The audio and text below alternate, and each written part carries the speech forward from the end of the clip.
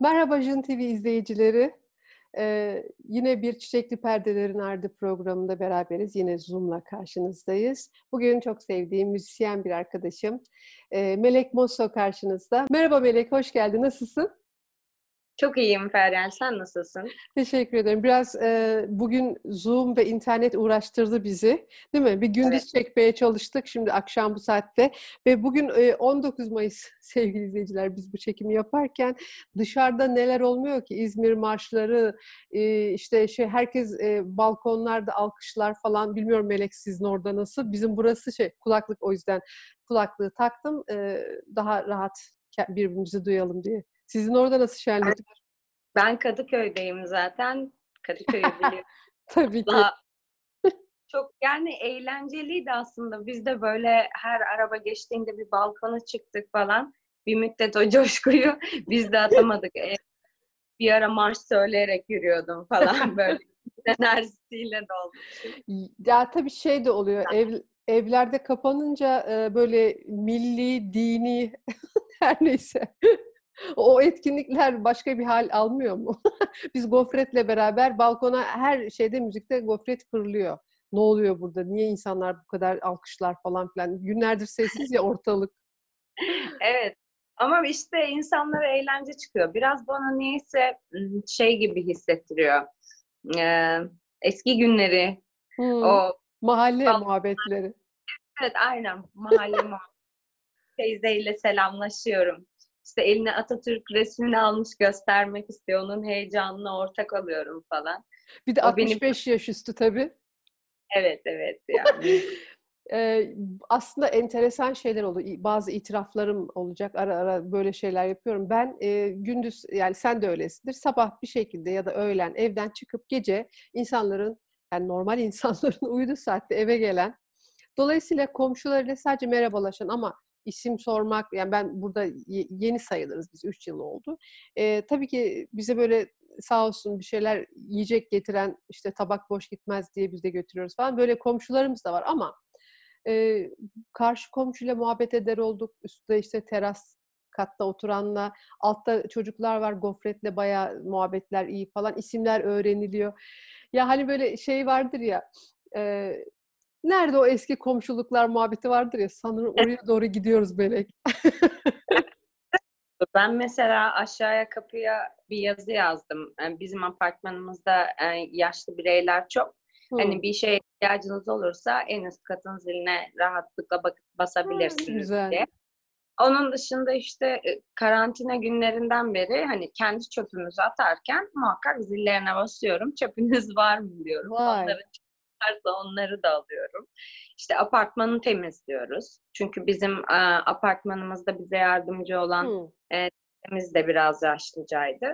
O yüzden hani onun görevini de aldık. Ay ne güzel Böyle. yapmışsınız ya. Ne güzel yapmışsınız. Ya, Kim der ya, ki o sahnelerdeki Melek Mosso Aa! diye apartmanı temizliyor, çöpleri topluyor, yardım edeyim diyor. Ne tatlı ya. Yani şey zaten oradaki mod o kadar başka ki normalde ya biz hani senin yanına böyle heyecandan gelemiyoruz ama sen çok normal biriymişsin diyor. normal tabii ki normalim falan.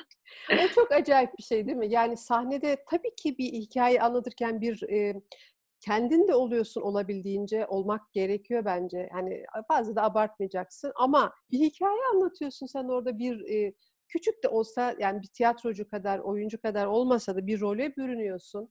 Ee, insanlar orada seni farklı görüp e, işte muhabbet ederken aa sen normal misin, suratsız değil misin? Yani bana dedikleri şey.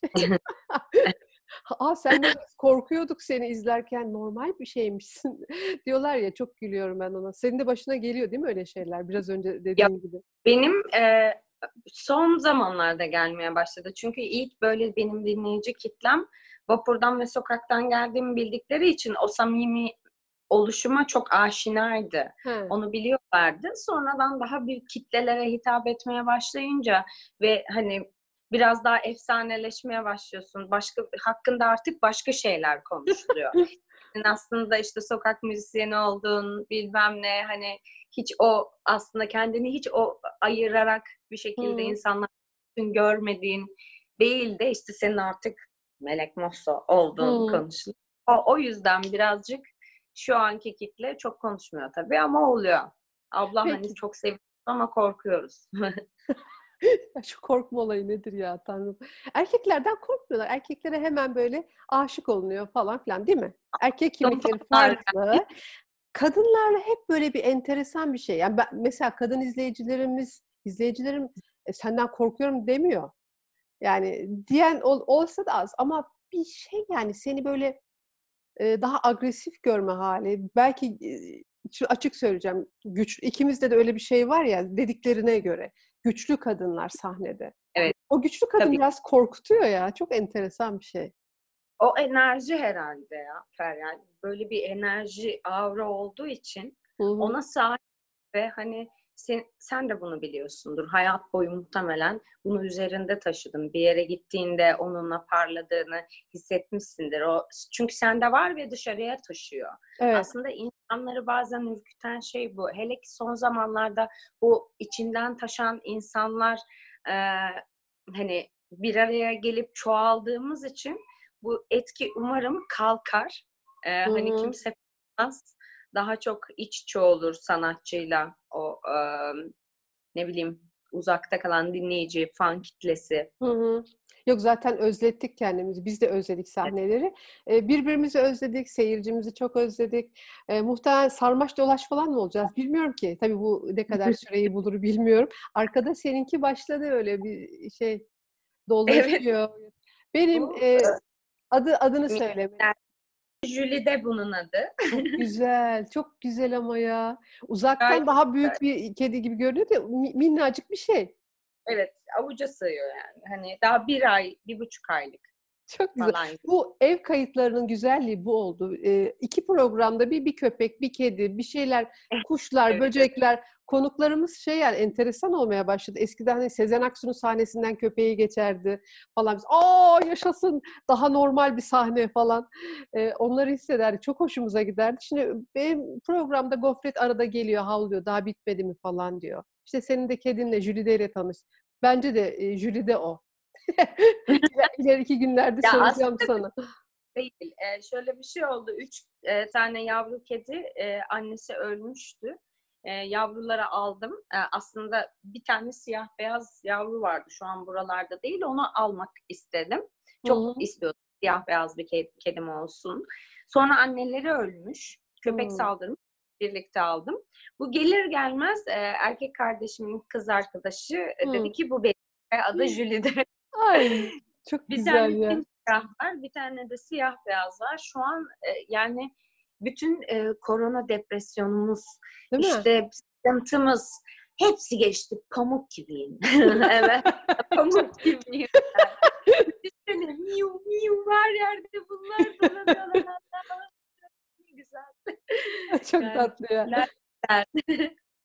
Şimdi demin aslında ufacık girdim ben yine konuyu değiştirdim. Ben hep öyle yapıyorum da. Şimdi sen hikayene sokak müzisyenliğinden bir başladın. Bir anlatsana Melek Moso nasıl oldu Melek Moso haline geldi? Melek Moso haline geldi. Ya aslında e, en son öğretmenlik yapıyordum diyeyim. Öğretmenliği bıraktım. E, son yani Meleğin olmaya başladığı nokta öğretmenliği bırakmak. Çünkü vazgeçmem gerekiyordu. Hı hı. Tüm ipleri İm ki yeni bir insan e, olsun. Zaten sahne alıyordum. Kendimi bildim bile sahnedeyim. Vapurlarda çalmaya başladım. Sonra Nice sokaktaki bilirsiniz Erasmus mekanlarını. Orada hmm. yabancı caz, işte cover şarkılar hmm. falan başladık jazz pop vesaire farklı farklı şeyler denedim. Bilmediğim müzikleri öğrendim. Sokakta öğrendim. Gittiğim mekanlarda çalan insanları izledim, dinledim, tekrar ettim. Hani e, hep imkansızlıklar, yeni imkanlar hmm. yarattı bana. E, sokakta oluşum e, doğaçlama yeteneğimi besledi. E, bu şekilde zaten bir şeyler yazabiliyordum. Nasıl şarkı yazılırı daha iyi e, öğrenmeye başladım. Bunların hepsi bir araya geldi e, ve e, en son hani son ilk e, üç ilk başlamadan önce bir yıl önce de Şan hocamla derslere başlamıştım ki Hı. o bile beni e, vapurda görüp bulup gel seni çalıştırmak istiyorum falan. Uğur Yılmaz kulakları çınlasın. Çok sevgiler gönderiyorum ona. Selamlar. Böyle beni görüp e, ben bu sesi çalıştırmak istiyorum dedi. Ben de dedim ki görüyorsunuz ben hani vapurda falan çalıyorum. Şu an böyle bir imkanım yok. Hani ders alacak hmm. param sen hani bir yıla zaten bu parayı verecek duruma gelirsin. Hani ben seni bedava çalıştıracağım. Böyle. Bunların bir araya gelince e, birkaç tane de güzel dost kalpten inanıp sana inanıp destekleyip hani kızım söyle videoyu çek utanma. Hmm. Hani bunlar olunca hepsi bir araya geldi ve oldu aslında. Tek önemli. bir aslında önce e, şansını kendin yaratıyorsun ama e, bir şey var etrafta da yani sende bir zaten şeytan tüyü var ama onu gö- görmesi lazım insanların. Onu görenler çıkmış. Çok şanslısın Aynen. değil mi? Evet yani kesinlikle e, yarısı e, şans. Hı-hı. Yarısı çok maydı. Çok çalıştım. Hala çok çalışkan biriyimdir. Hiç yani bu işi kaybetsem mesela bambaşka bir yerden bambaşka bir şekilde kendime e, asla şey yapmam ya ah falan demem. Bir iş bulurum, çalışırım. Hani, Bizim kafalar aynı ya. Yani o imkanı halletmem lazım hayatımdaki. Ben de öyle yaşıyorum. Şeye dair, hayata dair çok korkum yok. Ben de öğretmenlikten geliyorum. Yani iki iş beraberdi. Böyle dinlerken ah, ah, ah falan diye dinliyorum da birini tercih etmen gerekiyor. En sevdiğini tercih ediyorsun. Benimki de öyle oldu. Yani sahne mi, öğretmenlik mi? Tabii ki sahne hep çocukluğumdan beri beni çekiyordu. Ama sende işte benden farklı olan ne biliyor musun Melek? Bunu aralarda muhabbet de edemedik çok. E, şu doğaçlama şeyi var ya hani sokak müzisyenliğinden gelme onun avantajı.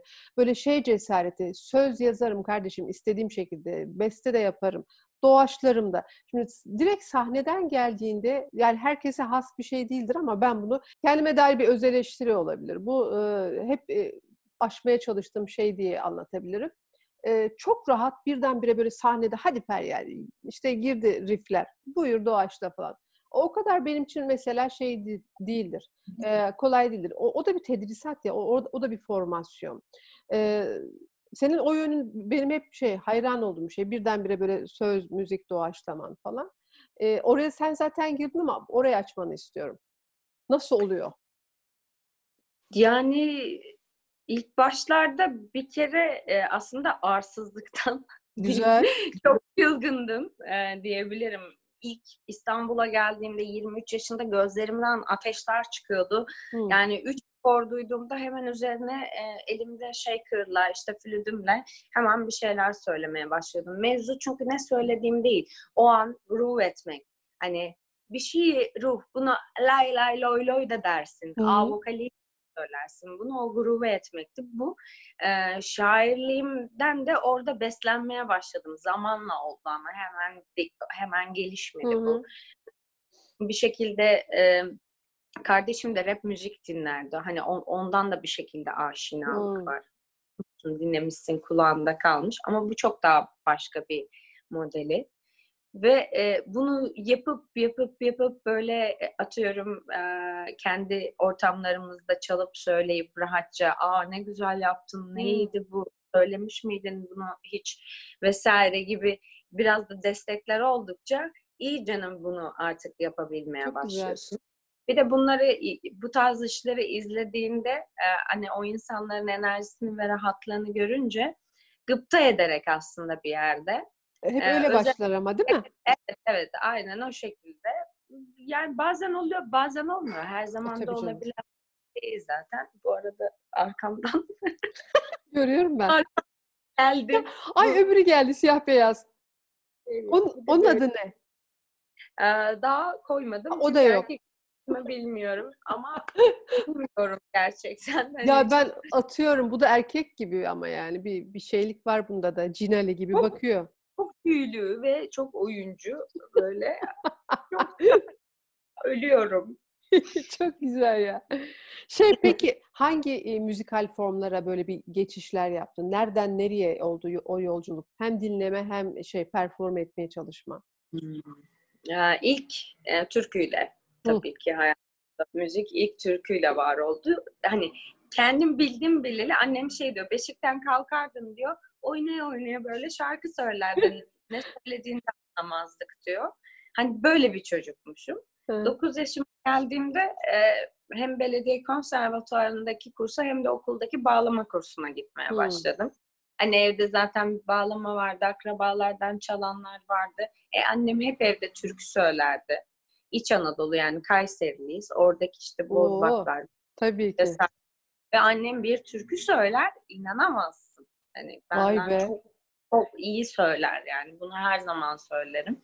Hey maşallah. Ee, orada başladı. Ee, o evrede zaten ilkokul ve ortaokuldaydım. Sonra ortaokulda tabii ki farklı şeyler de dinlemeye başladım. İşte e, ilkokul 5. sınıfta Haluk Levent'i duyduk. Sonra işte Şebnem Ferah, Teoman, Özlem Tekin hayatımıza girdi. İşte sonra yabancı müzik gruplarını tanıdık. İşte Metallica Hı. vesaire vesaire dinledim. Hip hop dinledim. Hiç unutmam. Eminem Show çıkmıştı. Orta 3. sınıftaydım ve albümü ezbere biliyordum. Wow. Yani o an alıyorsan alıyorsun zaten. Lisede klasik eğitim ee, geldi tabii ki. Güzel Sanatlar Lisesi Ama e, işte çok yumuşaksın ya çocukken. Eğrilip büyürülebiliyorsun tabii. ve bu çok güzel bir şey aslında. Çünkü bir sürü şeyi alabiliyorsun. Duvarların yok henüz değil mi? Evet evet ve ben e, çok mükemmelliyetçi bir çocuktum. Yani çok iyi duyardım. E, eğer yanlış yaptığımda kendime de kötü davranırdım. Ee, o yüzden böyle o bir komayı duyuyorsam o düzelecek. Delirirdim. Ee, çünkü şef olmak istiyordum. Koro şefi. Hmm. zamanlar öyle bir durum vardı. Maestro olayım, e, o kadar çalışayım bilmem ne falan diyordum. Bir yerde tabii ki o da gitti. Ne oldu işte klasik müzik çok dinledim o süreçte ama. Yani inanılmaz dinledim. Çünkü hem orkestrada çalıyorum Hı hı. Ee, Flüt çalıyorsun değil mi? Evet, çaldım. Klasik müzik çalıyoruz. Hem dinliyoruz, hani koro da çalışıyoruz işte aklına gelebilecek herhangi bir dilde bir Hı-hı. şarkı çalınabiliyor. işte Zula kabilesi, Afrika falan. İşte, çok tatlı ya. Garip garip şeyler öğreniyorsun ama çok güzel. Üniversitede tabii artık üniversiteden önce ne dinliyoruz? Müzik dinliyoruz. İşte gruplar, Blue, gençlik hmm. grup, Backstreet Boys'lar, e, işte Britney'ler falan, rock müzikler, pop rock, işte 6. cadde, Türk grupları, hmm. bu dergilerin stickerlı olduğu dönemlerde falan Justin Timberlake falan dinliyoruz. Güzel abi. Neler ya. Ya tabii çünkü çok renkli etrafımda herkes müzisyen ve müzik insanı olduğu için. Mesela yan komşum ve kankalarım e, abisi çok iyi bir bağlamacıydı. Delicesine e, türkü dinlerdik ve onlar o kadar iyi söylerlerdi ki böyle hani e, üstad seviyesindelerdi ve ben böyle bakıyordum sürekli onlara. Şelpe tekniğiyle bağlama işte çok güzel Kulak türküler. sürekli doluyor değil mi? Evet, bir yandan oradasın, bir yandan sabah okula gidiyorsun, akşama kadar 6 saat orkestrada Mozart çalıyorsun falan. Hı hı. İşte oradan çıkıyorsun, oradan da kulaklığını takıyorsun, Blue dinliyorsun. Çünkü evet. gençsin. Evet. Hani bunların hepsinin içerisinde aslında yıkandım. Üniversitede e, ilk önce asit caz dinlemeye başladım 18 yaşımda. İlk böyle e, internetten bakarak. Hmm. Sonra böyle klasik caza bir girdim. Orada bir Ella Fitzgerald'a çok takım. Bayılıyorum. Yani idolümdü. Hani var ama sende. Var o havalar. Söylerken falan bir şey var. Yani Ella'nın e, her şeyini dinlemişimdir. İçinden geçmişimdir diyebilirim. Hı-hı. Hatta İstanbul'a geldiğimde bir gitaristle çalışmıştım. Ee, o da çok iyi bir cazcıydı. Dedi ki bana Ella çok mu dinledin dedi. Sketlerim tıpkı gibi dedi. Gerçekten. evet dedim çok dinledim. Birazcık dedi ondan çıkmaya çalış falan demişti. Ama başlarda ben. hep formasyon öyle değil midir? Ee, birisine bir özellikle zaten soracaktım hani kadınlardan kim böyle yapıştın hayatın bir, bir döneminde dinledin falan Ella Fitzgerald çıktı. Ee, öyledir zaten Ön, önce bir idolün idol vardır. Ona bir taparsın, evet. onu bir taklit etmeye çalışırsın. Ondan sonra zaten nedir 20'nin ortasından sonra hep şarkı söylüyorsan. Evet, evet. 30'lar yaklaşırken bir dakika ya benim sesim ne peki demeye başlarsın. O yaşlar mı o yaşlar? Evet, evet tam o geçişler onlar orada yaşandı. Hani Nina'dan çok beslendim. Nina Simone'dan. Hmm. Ella Fitzgerald vokal olarak beslendim. Nina Simone'dan ruh olarak ve e, disiplininden beslendim. Hmm. Hani beslendiğim kadınlar benim. Çok iki iyi. kadın bu. E, Amy Winehouse'un e, e, karmaşık duygu durumundan beslendim. Kendimde ona yakın şeyler buldum. Böylece böyle böyle kadınları dinleyerek e, onlardan esinlendim. Söylediğin isimler aslında yani çok çok olgun isimler ya. Sen daha yaşın evet. kaç? Çok ama o yüzden işte Melek Mosso'yu ben ilk dinlediğimde bu kadın nedir ya Ayten Altman mı falan demiştim. Sana da söyledim ya. Yani hemen Türkiye'li şey... Ayten Altman ama. Öyle mi? Bir kaseti var.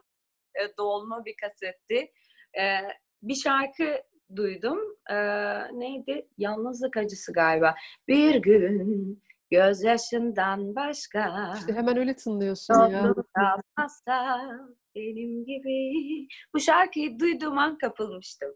Çok güzel. Ben hiç kötü ben anlamda söylemiyorum şeyi. Onu anlıyorsun değil mi? Yani Ayten Altman'ı duyduğum gibi falan. Ya Ayten Altman'a e, hani Ayten Altman'ın ruhundan bir parça taşımak benim için gururdur. Yani hiç de bundan gocunmam yani. Çünkü daha 30'larımdayım, 30'ların başlarındayım. Onun ruhundan bir parçam varsa, parça varsa bende ne mutlu bana.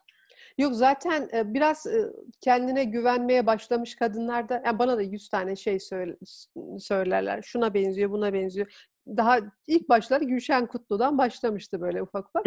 Ama ben hep şey, ha ne güzel gerçekten mi falan. Hep e, şeydir ya, e, bunu kompleks yapmamak zaten. Çünkü biz buyuz. Bir şeylerin bir, bir bileşimiyiz. Onu dinledik, bu ona özendik, o, o, ona imrendik, onun sahne duruşu falan filan derken biz de yeni bir şey haline geldik. Sen de öylesin. Ben de kendimi hep öyle hissediyorum. O yüzden mesela Ayten Altman'ı bana hissettirmen, çocukluğuma dönmem çok çok güzeldi seni dinlediğimde. Hala da sen konuşurken de biraz önce ufacık söylediğinde de evet yani Ella Fitzgerald'lar var ama şey de var. buradan da işte çok türkü dinlemiş olmandan, e, aranjman dönemine de bir şekilde hakim olmandan, yaşına rağmen hepsinden dolayı bana bir sürü şeyi çağrıştırıyorsun, bir sürü kadını. Ama tabii melek olsun. İçimde bir sürü kadın var zaten hani Hı-hı. bunu e, yatsıyamam. Hepimizin içinde kadınlar çoktur Hı-hı. bence. Ben hep öyle derim. O kadar çoğuz ki hani içimizde o kadar çok şey var ki anne var, işte çocuk var, genç kız var, e, savaşçı var, bir büyücü var. E, hani iyileştirici var. Her şeye sahibiz. Çünkü e, bunun sebebi her zaman e, bir süredir diyeyim. Dünyanın döneminin bir süresinden beri hep kadın burada. Hep savaşmak zorunda kaldı evet. bir şey. Ve o yüzden biz içimizde çok güçlü bir sürü karakter büyüttük. Belki hani, agresif. Değil mi? Agresif ve sevimlisi bir sürüsü tabii, var. Yok yok mücadele ederken biz, bizi gör, gördükleri hal böyle agresif de olabiliyor ya. Oysa sen o sırada hem kendinle uğraşıyorsun hem kendi yaptığın işle uğraşıyorsun hem etrafını. Sen dedin ya işte biraz o bende de var. Böyle bir şey e, disiplin hastalığı. o girdiğin ortamlarda, karma ortamlarda falan bir şey göze batıyorsun yani. Öyle maalesef. Biraz Orta Doğu'yuz yani zaman kavramı farklı falan derken. E, peki hemen buradan zaten sen açıyorsun hep konuları Melek. E, sahnede ya da beraber çalıştığın insanlar içerisinde nasıl bir melek mososun? Onların çok tatlı, yakın bir arkadaşıyım. Hani e, işteki arkadaşlarımın hepsi beni sever. Hani yani öyle biliyorum. Yo çok güzel. Hat, hatta yani oradaki en şımarık e, kişi, en sorumsuz kişi, orada ortalığı en karıştıracak kişi benimdir aslında. Hani herkes işini çok düzgünce yapıyordur. Orada bir şeyi fitilleyecek ateşi kişi benimdir falan. Hı O yüzden onlara çok güvenirim, çok severim, çok eğlenirim. Zaten şöyle bir durum var. İş bitene kadar biz hani birbirimize hep iyi e, şekilde kanalize oluruz ve bir sorun varsa çözeriz. Bu gibi şeylerle ilgileniriz. İş bittikten sonra zaten bam diye biter ve arkadaşlık başlar orada. Ha, orada güzel. da hep eğlence halindeyiz. Yani biz kocaman bir aileyiz. Çok güzel. Evet. Ama e, orada mesela senin güzelliğin şey sadece bir hani bir star, bir solist görmüyorlar herhalde değil mi? İşi mutfağında Yok. olan melek. Yani bence ekibimle beni biraz daha iççe görüyorlardır diye düşünüyorum. Yok hani, şeyden de e yaratıcılığından, üretkenliğinden dolayı da işin mutfağında herhalde e, bayağı bir ağırlığın var değil mi? Yani tabii. Hani herkes e, bir şekilde şunu istiyorum, bunu istiyorumculuktan çok ya şunu yapsak bir denesek olur mu? Hmm. daha mantıklı. Çünkü hani bazen benim söylediğim de olmuyor. Hani öyle Hı-hı. bir durum. Denemeden bilemezsin çünkü ekip içerisinde.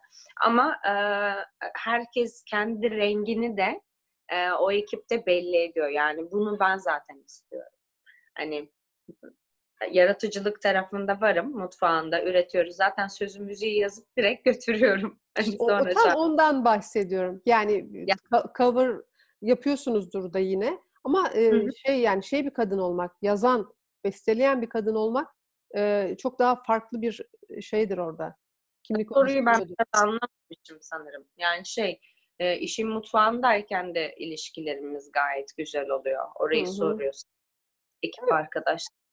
Çünkü hani yaptığım şeylerde genelde bir hani hoşlarına gitmeyen bir şey varsa muhakkak bana söylerler. Çünkü benim onlara ilk söylediğim şey lütfen bana söyleyin. Evet. Çünkü dünyadaki en kötü şey iletişimsizliktir. Ee, eğer siz söylemezseniz kim söyleyecek ki? Herkes muhteşem olduğumu söyleyip durur sonra bana ve aptalca bir yere sürüklenir. Ha öyle olmaz da yani yine yok. de gerek yok. Söylediğin şey yani, biliyorum ne demek olduğunu. Dış göz, dış kulak deriz ya. Evet, e, evet. En en e, böyle kötü niyetle dinle beni, kötü niyetle izle. Evet. bir laf vardır aramızda. Yani olumsuzlukları görüp onları törpülemeye çalışmak. E, o yüzden genel provalarımız vardır. O yüzden işte birileri bizi dışarıdan izler provalarda. Seyirci ben, en haliyle... Ben dinletiyorum bazen. Asistanımı gönderiyorum konserde. Gez birazcık sen diyorum mesela. Arada gezdiriyorum asistanımı. Beğeniyorlar mı? Ne oluyor? Bir şeyden rahatsız mı insanlar? Kulak kabartıyor. Ortalıkta bir şey konuşuluyorsa tık geliyor bana söylüyor. Hani böylece insanların orada ne kadar mutlu, ne kadar mutsuz, keyifli mi, keyifsiz mi olduklarını da e, bir kere rapor ediyorum. Yani. Çok güzel. Yani kontrol freak manyakmış değil mi? güzel güzel. O, o işte o, o çok lazım olan bir şey. Yani halkla ilişkiler aslında sahne arkasında başlıyor. Sonra seyircinin karşısına çıkıyorsun ve orada kendine yani sahte bir dünya kurmamış oluyorsun e, hissede hissede bilerek ne yaptığını bilerek e, daha önce kulaklardan gözlerden süzgeçten geçmiş olarak peki seyirciyle muhabbet nasıl? Çok iyi. Seyirciyle hiç sıkıntı yaşamıyoruz. Nasıl bir seyircin var? Ee, yani zaten oraya şöyle gelmiş. Genelde konserimize ilk defa gelen artık çok az. Gittiğimiz yerlerde çok az oluyor. Gelen bir daha muhakkak geliyor. Çünkü çok eğlenceliyiz. Çok güzel ilk birkaç şarkı ben de şey oluyorum. E, hani diyorum bakın şu an ben de heyecanlıyım. Birazdan ama başlayacak. Olun.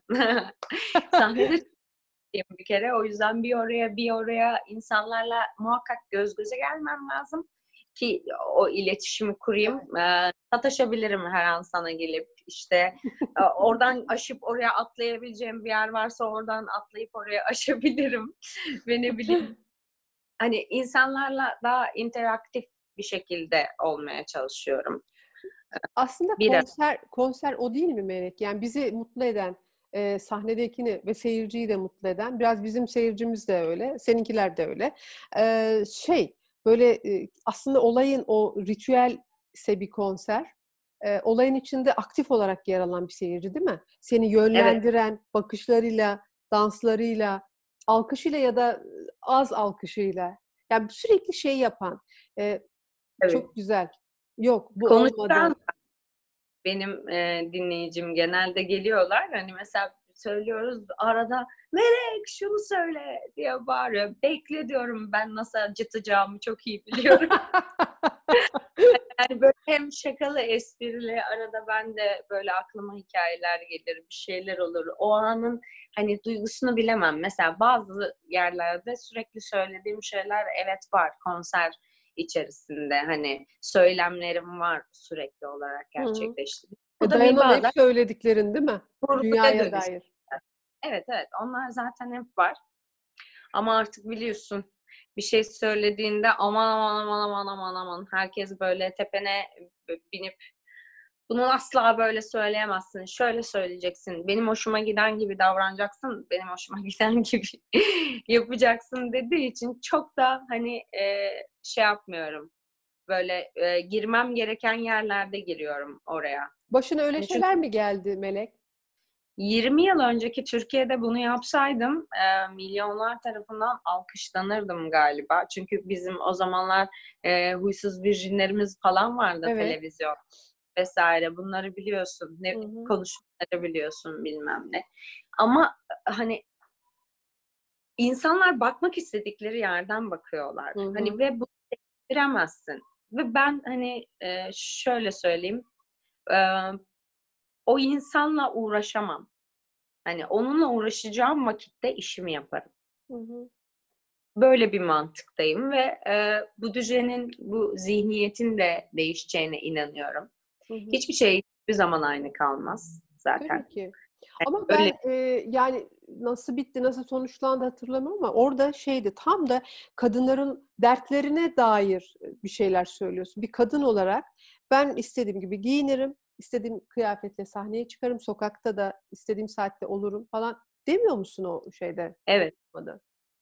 Tabii Ve... tabii. Bunu bahsediyorum ama işte bu nerelere çekildi? Bir de e, şey de hani linç yediğim kesim sadece işte kapalı kesim falan olsa yine iyi e, diğer kesimden de işte sana mı soracağız falan hmm. ya orada yani tabii ki bana sormayacaksın. Tabii ki böyle bir şeyden bahsetmiyorum. Orada bir manifesto var. İşte bir proje var. Orada Ahbe Aysel diye e, adı altında benim. E, daha edepsiz, daha işte huysuz bir tarzı. Aysel, Aysel. Gürel değil mi? Aynı e, anda hissettiğimiz. Oradan. Ah be Aysel, Aysel Gürel'den geliyor. İşte ne bileyim otrişler falan takıyorum. Bazen pembe gözlük falan takıyorum, çıkıyorum. Yani orada bir kurgu var. Ama karşımdaki kafa o kurguyu bile anlayabilecek bir kafa değil ya da onun başının sonunu okuyacak bir kafa değil. Ama hani... şeyi biliyorsun Melek, Sezen Aksu 50 yıldır, 40 yıldır, 30 yıldır uğraşıyor. Yani bazen linç ediliyor.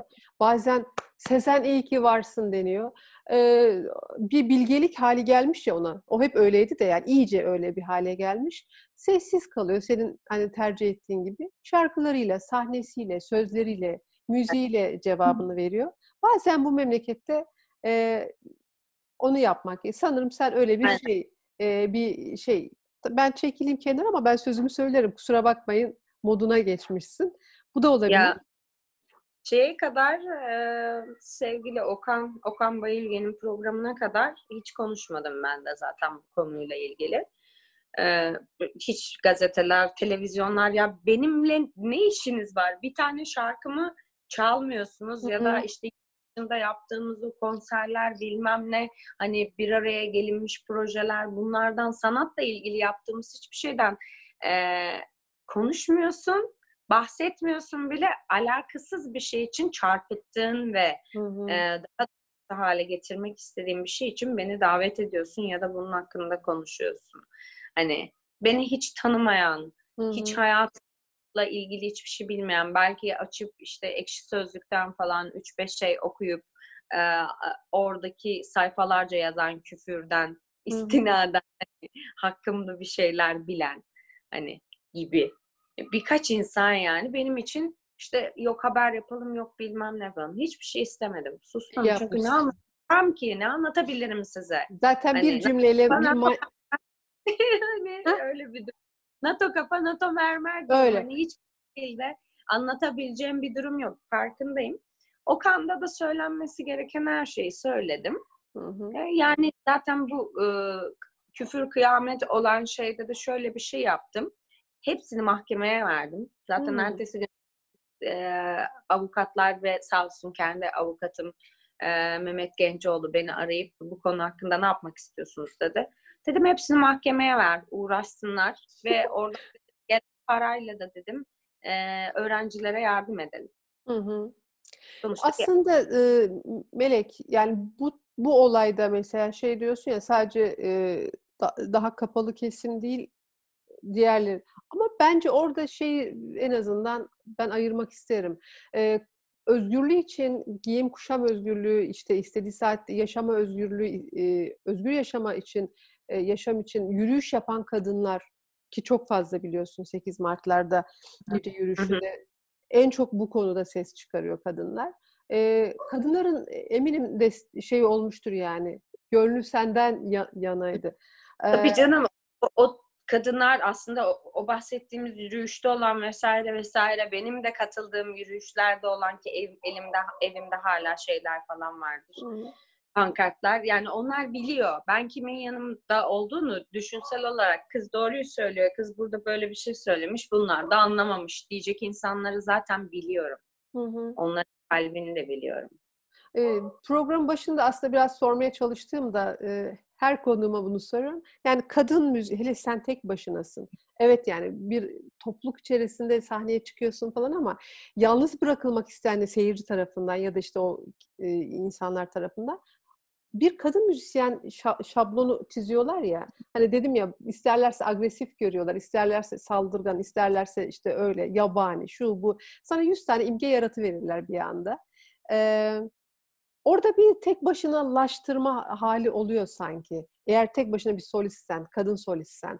Ee, bu birçok müzisyenin başına yıllarca geldi aslında. Hani ben bir Sezen Aksu örneği verdim ama bir birçok kadının başına geldi. O aslında güçlendiriyor da. Sende öyle bir hal var zaten. öyle bir hal olmuş. İster istemez o tek başınalığın getirdiği bir güç Hı hı. bence. İşte bizim memleket buralar böyle ama e, şeyi de öğreniyoruz yani böyle bilene bilene e, işte o sözüne, müziğine, her şeyine yavaş yavaş yansıyacak. E, Evet evet. böyle kadınlık durumunu anlatmaya başlıyorsun aslında. Biraz daha şey yaşatılıyor ya. Neyse şimdi güzel güzel şeylere geçelim. Ben şimdi bugün senin videolarına baktım. Böyle milyonlar falan izleniyor. Nasıl bir his o ya? Hani bizim kardeş yüklerinde başına geliyor da her videosu değil mesela. Senin ben açıyorum. Melek işte akustik hane. Ne falan diyorum. Bilmem kaç milyon falan. O nasıl bir his? Ve gerçekten çok ciddi bir dinleyicin var senin, izleyicin var. Yani akustikhane videosunu çekerken hatta çektik e, sadece 3 take attık. 3 kere yani baştan sona söyledim. Birini aldılar ve kullandılar. O kadar heyecanlıydım ki e, sokakta çalmıştık oraya gitmiştik. Hatta üzerimde bu vardı. Ha evet, evet ama şey çok güzel performans ya.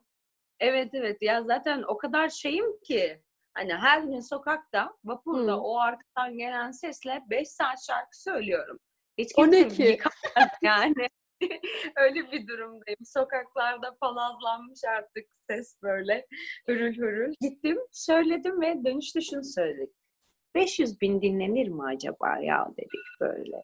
O an bir hayal kurdum dedim ki umarım çok dinlenir şöyle olur böyle olur. Sonra milyonlara ulaştı ve biz zaten şok.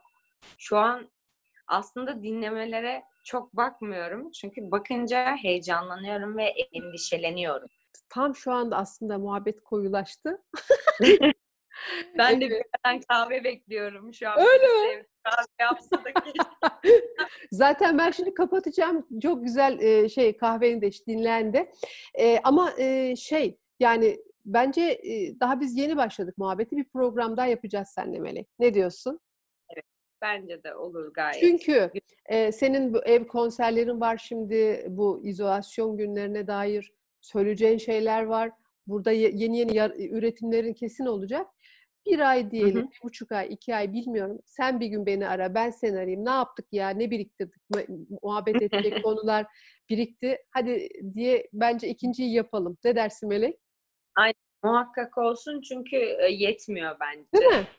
Daha Yeter. ben Tam muhabbet koyulaştığında belki daha önce açmalıyız. Bir Evet, noktadan sonra açmalıyız. Ama şimdi şeyde konuda kedilerden köpeklerden açılıyor. Ben orada dayanamıyorum. Uzatmak istiyorum. Neyse.